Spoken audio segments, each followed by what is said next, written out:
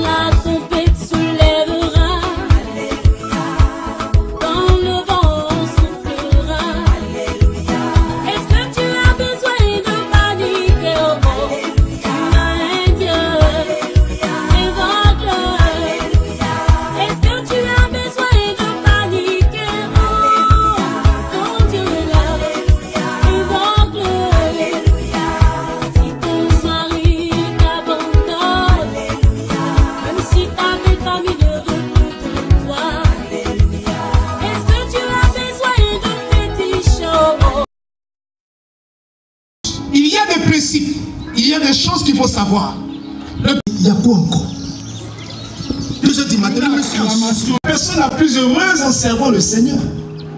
Si c'est pour être marié, et puis lutter, se cacher, venir à la prière, ton mari ne peut informer, vanité de vanité, tout est vanité.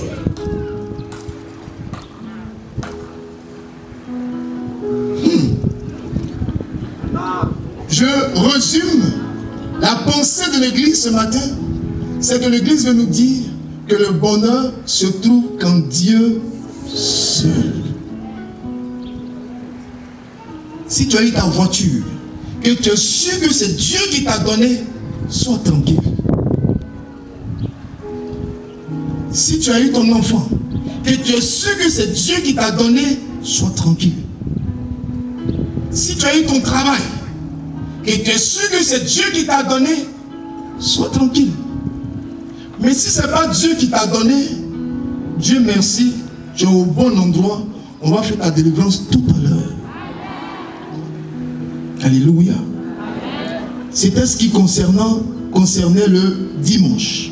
Alors aujourd'hui, nous parlons de mariage. Comment entrer dans le mariage et comment le sécuriser? Déjà le samedi hier, il y a des choses que je ne pourrais pas dire ici parce que c'est réservé spécialement pour le C'est d'aider les couples à être de bons couples des modèles selon Dieu. Alléluia. Alors, le mariage. Alors, on va démarrer fort. Hein. Voici les points que je vais aborder avec vous. Le premier point, ça sera les généralités. Le deuxième point, ça sera les différents types de mariage. Le troisième point, la particularité du mariage chrétien. Le quatrième point, Comment entrer de façon effective dans le mariage Je m'excuse pour les, les, universitaires, je m'excuse, hein, je m'excuse. maison familiale.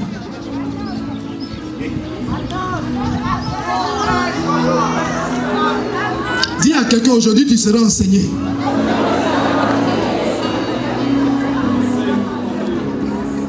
Alléluia.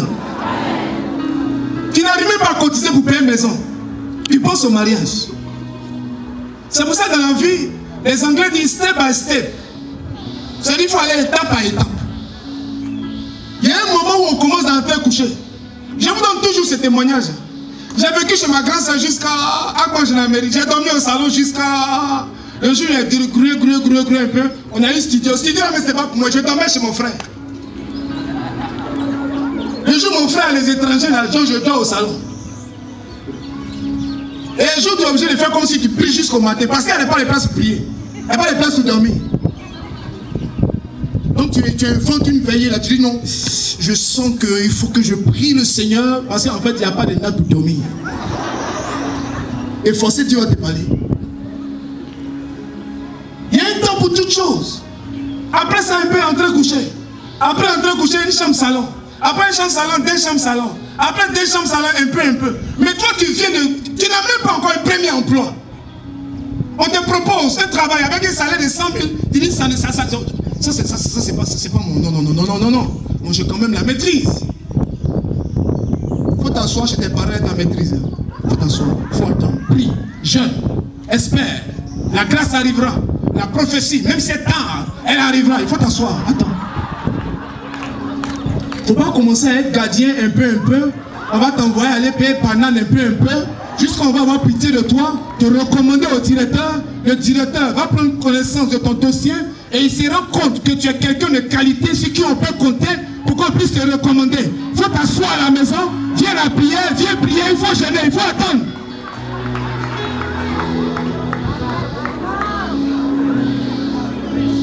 C'est pour ça que tu quittes la Côte d'Ivoire pour aller faire études loin, loin. Là. Il faut attendre. Ça, c'est la généralité. La définition du mariage, le mariage en lui-même. Oh, mais tous les dimanches, on sera béni ici. La définition du mariage. Le mariage est un état dans lequel un homme et une femme vivent ensemble dans une relation intime avec l'approbation de leur groupe social, leur groupe religieux, dans le but de procréer. Amen. Le mariage est un état dans lequel un homme et une femme vivent ensemble, dans une relation intime, avec l'approbation de leur groupe social, le groupe ethnique si vous voulez, le groupe religieux, dans le but de procréer. Cela dit, ceci dit, pardon, allons au deuxième point. Quels sont les différents types de mariage? C'est clair, hein, je n'ai pas besoin d'expliquer. Hein. C'est bon? Bon, permettez que j'explique comme il y a des baoulés parmi nous. J'étais en train de dire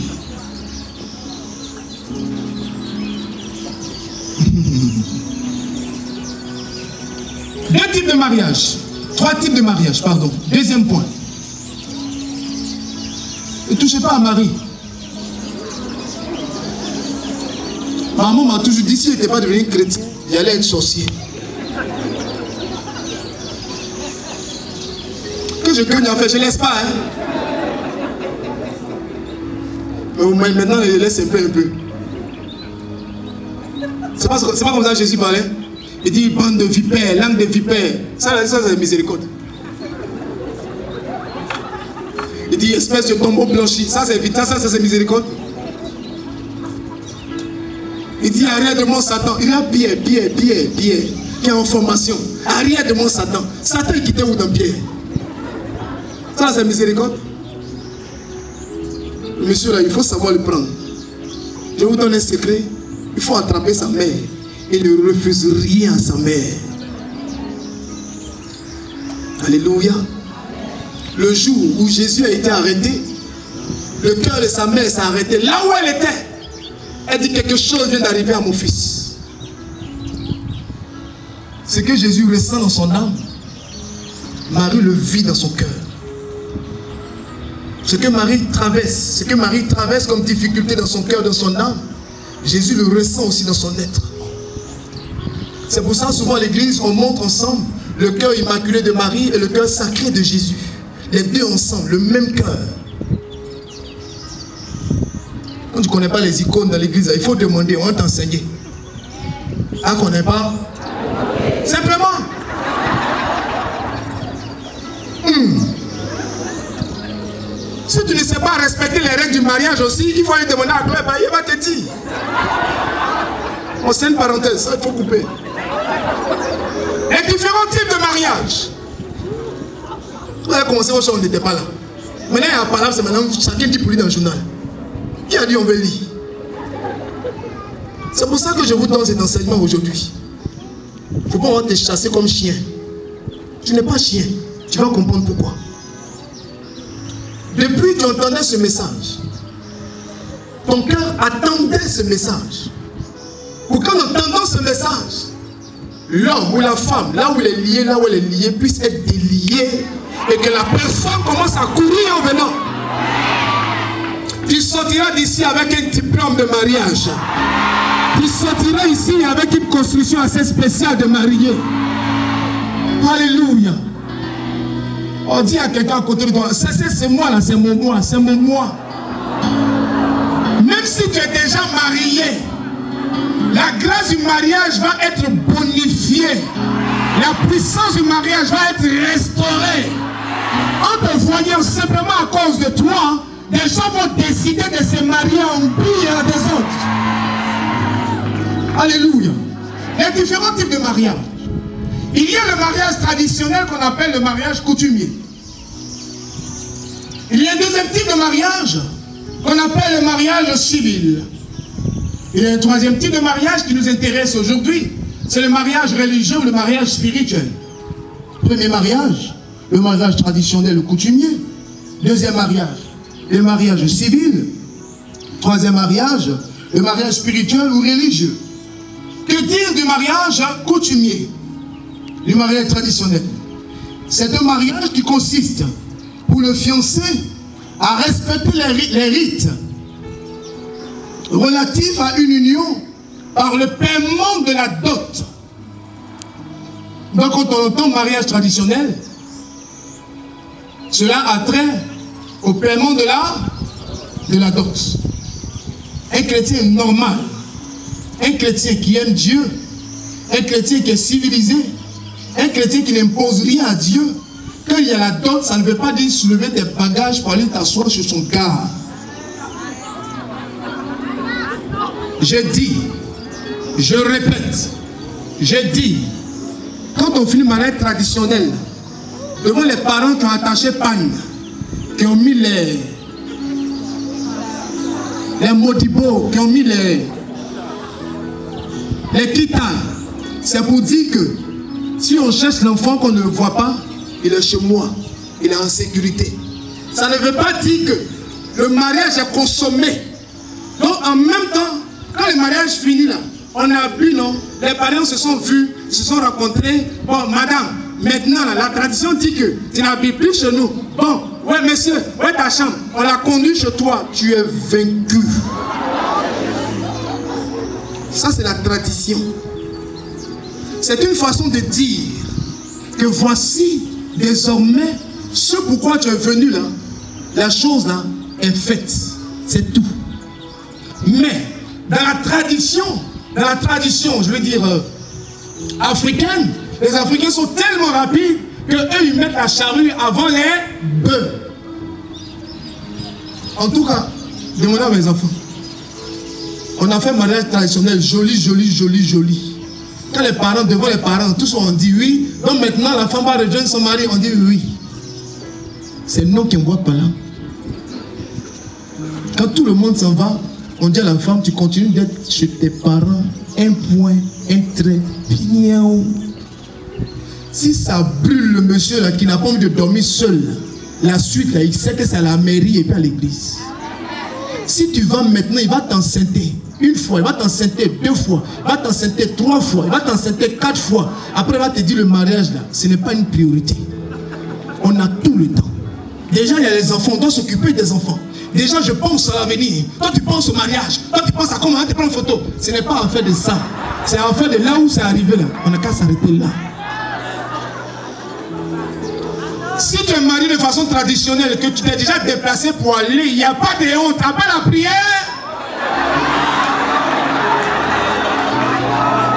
Après le mariage, il y a des principes. Il y a des choses qu'il faut savoir. Le premier point, il y a plusieurs points. Premier point, c'est simplement de maîtriser les principes de Dieu. Les principes de Dieu. Puisque c'est un mariage d'ordre spirituel, il est bon de maîtriser les principes de, les principes de Dieu. Alléluia. Maîtriser les principes de Dieu pour éviter les pièges du diable. Quand vous lisez Hébreu chapitre 13, le verset 4, Saint Paul nous dit que le lit conjugal soit exempt de reproches. Que le lit conjugal soit exempt de toute souillure. que le lit conjugal ne soit pas affecté d'une quelconque souillure.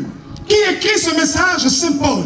Pourquoi Saint Paul écrit cela? Saint Paul, en tant que, célibataire, Saint Paul, célibataire, mais lui, en tant que célibataire, déclare que le mariage doit être honoré, respecté de tous.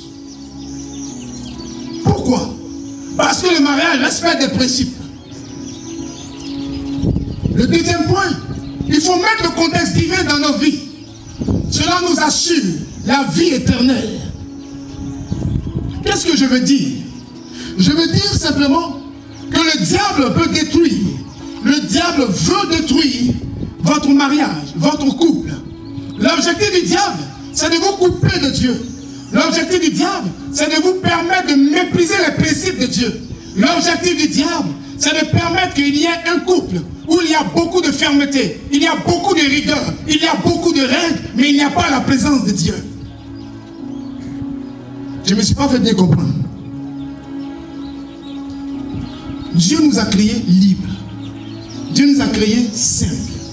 Mais l'objectif du diable, c'est de passer par notre intelligence, passer par nos façons de faire. Moi, je pense que j'ai des principes. Mes principes, c'est que on ne me salue pas comme ça. On ne me salue pas comme ça. Je prends ces principes-là et j'en fais une règle de vie. À force de faire de ces principes une règle de vie, je me pose même plus la question de savoir si ma façon d'imposer mes principes vient de Dieu. J'ai beaucoup de règles. J'ai beaucoup de règles. J'ai beaucoup de principes. De loin, quand on me voit, je semble être quelqu'un de rigoureux, quelqu'un de minutieux, mais à l'intérieur de moi-même, il n'y a rien qui sonne Dieu. Dieu.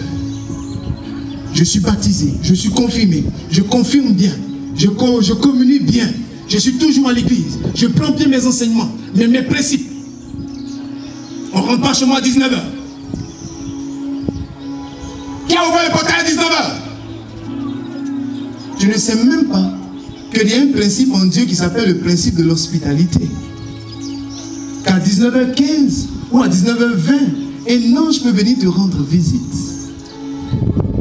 Donc simplement, à cause des principes que moi-même je me suis fixé et établi, je peux sortir de la grâce divine. Donc Dieu peut venir frapper à ma porte à midi. Je m'attends à voir Jésus vêtu de gloire, vêtu de blanc, le vrai lait. Et je vois devant ma porte quelqu'un qui vient commander. Dans mon sang frère, dans mon petit frère, j'ai faim, je vais à manger. J'ai oublié le principe de l'hospitalité. Je n'ai pas cerné que Jésus est venu me rendre visite. Vous comprenez mieux mon image maintenant? Je peux continuer. Comment rentrer dans le mariage?